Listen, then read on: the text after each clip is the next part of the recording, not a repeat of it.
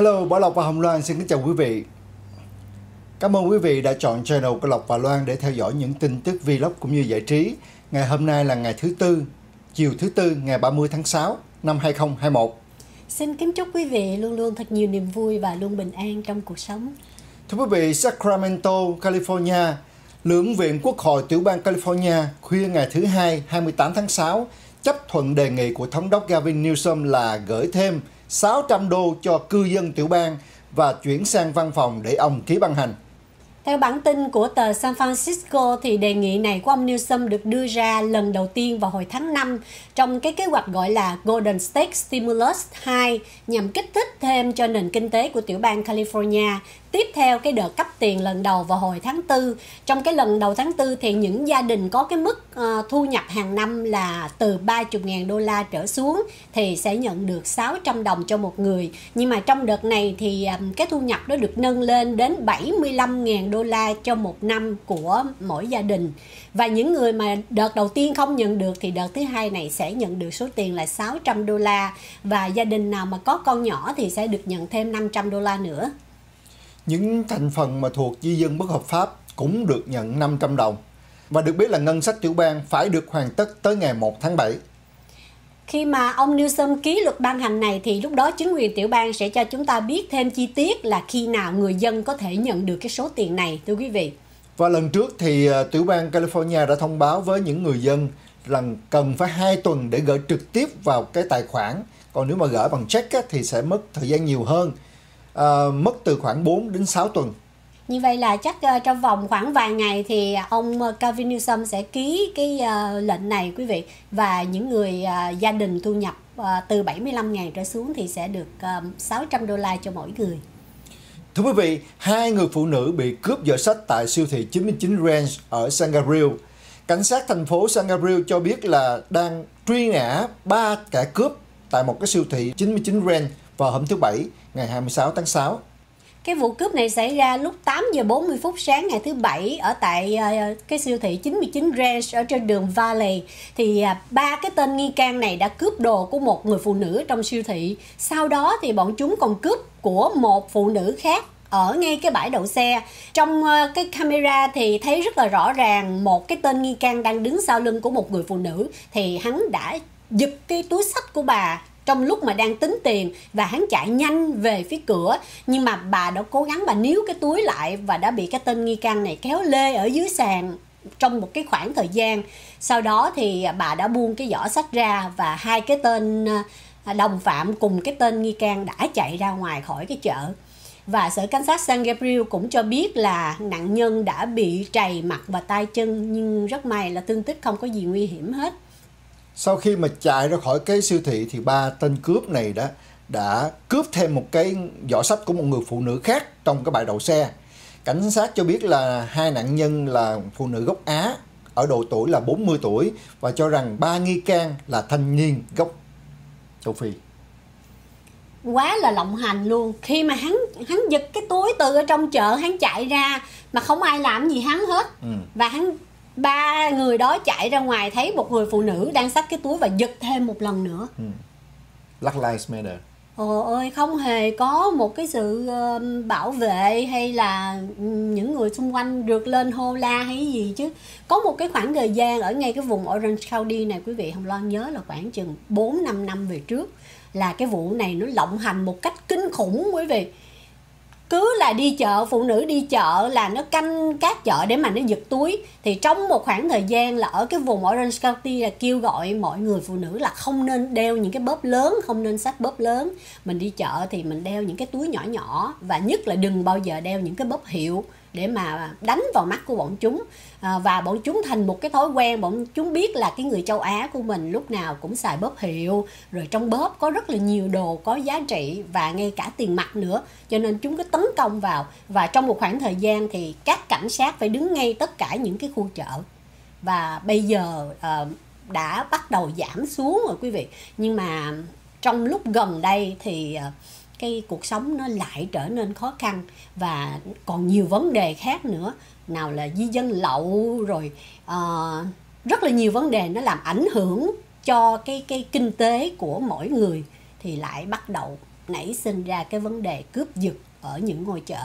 Mà mình thấy cái vấn đề này nó không có giảm nó càng tăng thêm mà. Cứ mà giống như là một người mà làm được thì những người kia làm theo thấy những cái vụ mà tấn công người châu Á cũng người châu Phi người da đen ờ, gốc châu Phi là tấn công người châu Á nhiều.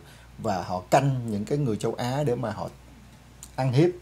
Vừa tấn công vừa giật đồ vừa coi như là đủ thứ á, ừ. mà họ không sợ pháp luật. Tại vì họ biết là nếu mà họ có làm gì đi nữa thì pháp luật vẫn nhẹ tay với họ trong lúc này quý vị. Và trong đây còn có những thành phần mà à, tù nhân được thả ra sớm nữa rất là nhiều trong khoảng thời gian vừa qua. Quý vị cũng đã nghe thông báo hả quý vị ha thưa quý vị một bà mẹ đã lãnh 102 năm tù vì tấn công tình dục hai bé trai bạn của con gái. Người mẹ này 38 tuổi, bà đã lãnh án sau khi bị kết tội tấn công tình dục và lạm dụng trẻ em và tác động tới các nhân chứng để nhằm che giấu cái hành vi phạm tội của mình. Ừ, tờ New York Post đã đưa tin tòa án tại Nebraska ngày 30 tháng 6 vừa tuyên mức án tới 102 năm tù đối với một bà mẹ vì tấn công tình dục hai bé trai và bị cáo tên là Christina Greer trước đó đã bị kết tội vào tháng 3 về rất là nhiều tội danh liên quan tới tấn công tình dục, lạm dụng trẻ em và tác động nhân chứng. Theo những công tố viên á, thì bà Greer này á, đã cho hai bé trai, một bé 12 tuổi và một bé 13 tuổi là bạn của con gái của mình. Cho hai cậu bé này uống rượu uống bia rồi ăn kẹo chứa những cái chất ma túy khi mà hai cậu bé này đến nhà của ờ, con gái của bà ngủ lại. Và bà còn ờ, bắt những cái nạn nhân này phải xóa tất cả những cái chứng cứ trong điện thoại và không được kể với những người khác. Ờ, về cái vấn đề bà đã cùng hai cậu bé này quan hệ với nhau. Cái vụ án này là đã xảy ra vào năm 2017 2018 và hiện bây giờ họ đang xử án. Tuy nhiên thì các điều tra viên này phát hiện hình ảnh của bà Chris trong cái điện thoại của một bé trai. Và một công tố viên đã cho biết là bà Chris còn có một cô gái 11 tuổi và bà đã cho uống rượu bia cùng với ma túy và dặn con là không được kể với người khác về những gì đã xảy ra ở nhà mình. Ở ngay tại tòa án thì um, cảnh sát đã phỏng vấn một bé trai 13 tuổi và bé trai này thừa nhận là đã quan hệ với bà Greer ba lần khi mà ngủ lại nhà. Và viên cảnh sát này cùng với con gái của bà cũng đã xác định là có tới 6 thiếu niên thường xuyên đến nhà bà để ngủ vào những dịp cuối tuần. Ông cảnh sát cho biết là con gái của bà đã khai nhận về việc nghe tiếng mẹ và một cậu trai trong phòng của bà và họ đã hôn nhau. Theo quy định tại tiểu bang Nebraska, dù bị tuyên án lên tới 102 năm tù, nhưng mà bà Greer thì sẽ chỉ phải thụ án 32 năm nếu đáp ứng những cái điều kiện ân xá. Nếu không thì bà phải thụ án đến 51 năm.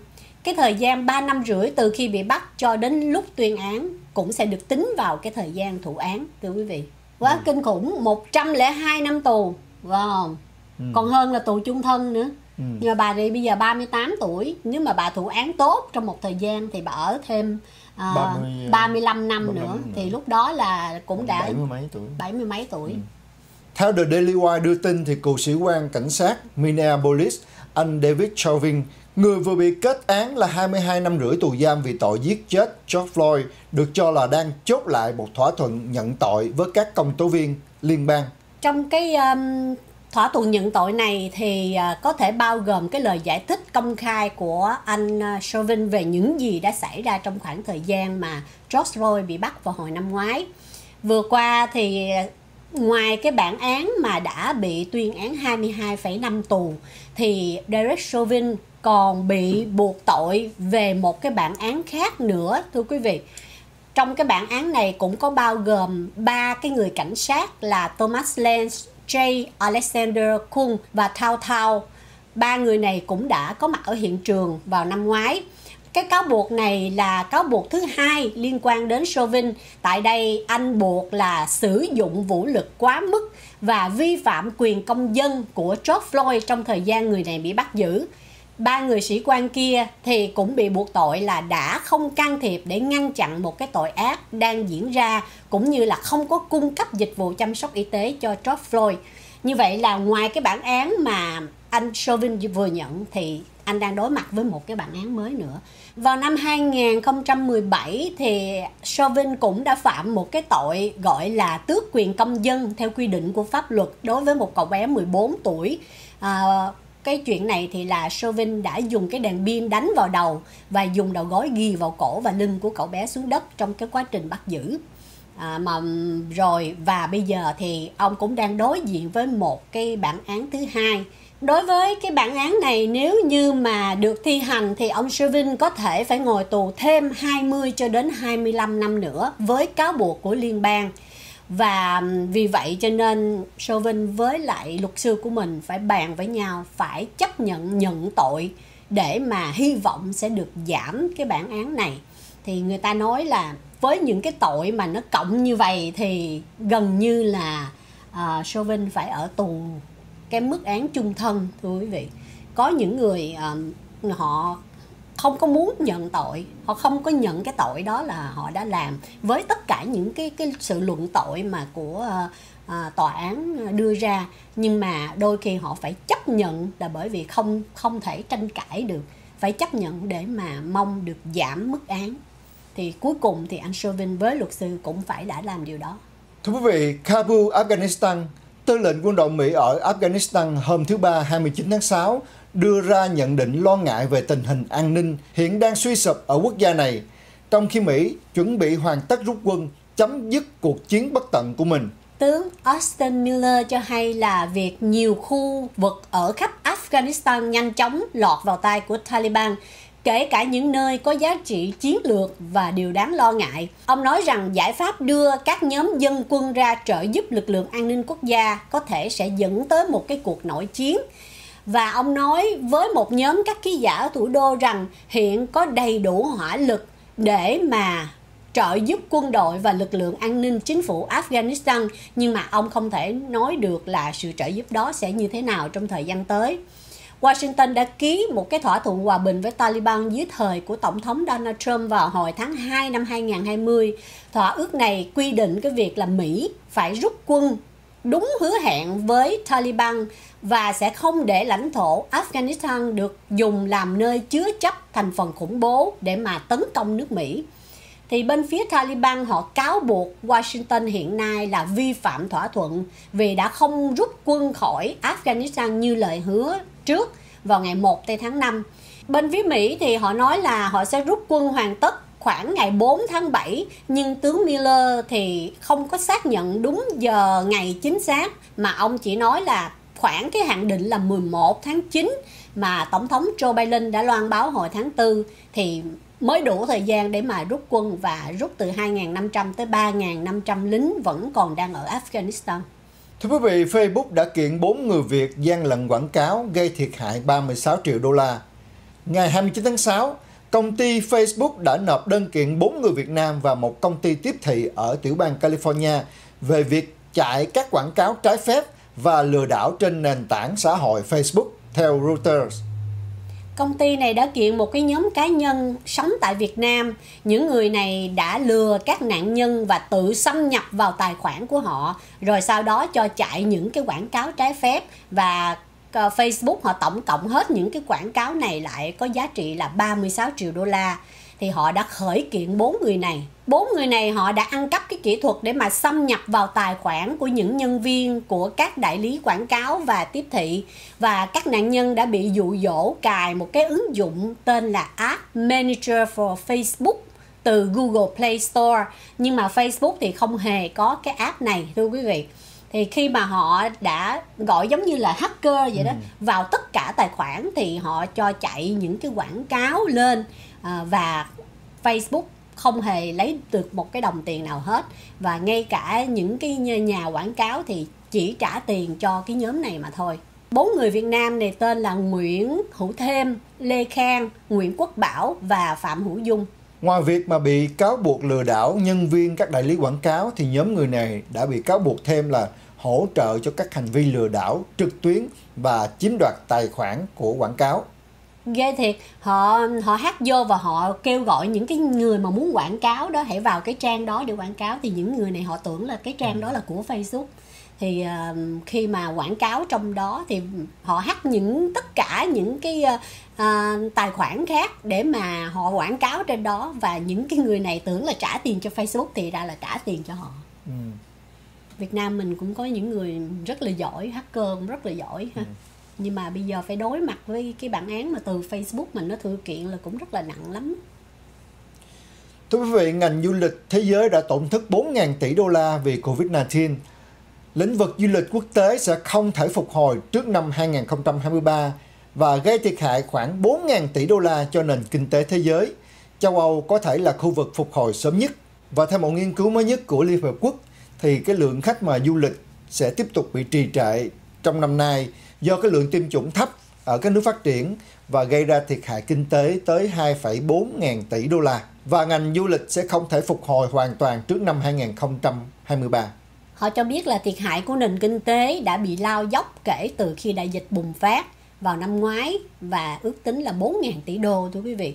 Họ cho biết là cái vấn đề tiêm chủng và cái hộ chiếu vaccine sẽ là một cái chìa khóa để mà khôi phục lại niềm tin của du khách, để mọi người đi du lịch dễ dàng đến các nước. Và cũng hy vọng từ đó thì cái nền kinh tế nó sẽ phát triển hơn. Năm ngoái đó thì lượng khách du lịch đã giảm đến 73% so với cái mức trước khi xảy ra đại dịch của năm 2019. Ông Brad Peters là chuyên gia phân tích thương mại, ông nói là triển vọng trong năm nay thì cũng chưa mấy khả quan. 3 tháng đầu năm thì dịch bệnh lại tồi tệ và không có những cái tour du lịch được mở ra ở nước ngoài. Bây giờ chỉ có một cái sự kỳ vọng cho những cái tháng cuối năm nay à, hy vọng đối với khu vực Bắc Mỹ và châu Âu thì có thể tăng lại cái lượng du lịch. Nhưng mà năm nay thì cũng vẫn chưa thể nào được như ờ, những năm trước thưa quý vị.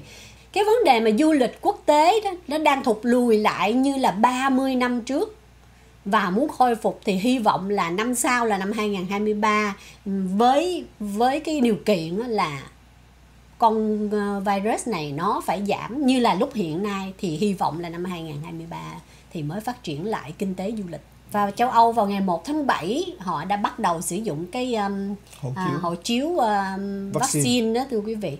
Nhưng mà bên uh, nước Mỹ thì um, rất là nhiều những cái tiểu bang họ không có đồng ý cái hộ chiếu vaccine đó.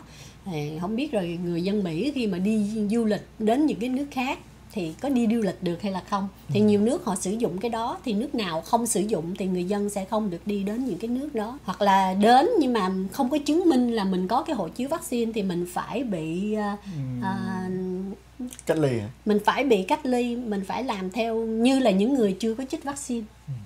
thưa quý vị theo Reuters các thương hiệu Hồng Kông phải chuyển mát thành Made in China việc mà Mỹ tước bỏ quy chế đặc biệt với Hồng Kông khiến cho hàng hóa sản xuất tại đặc khu kinh tế này sẽ bị dán mát là Made in China từ cuối tháng 11 khi bán tại Mỹ.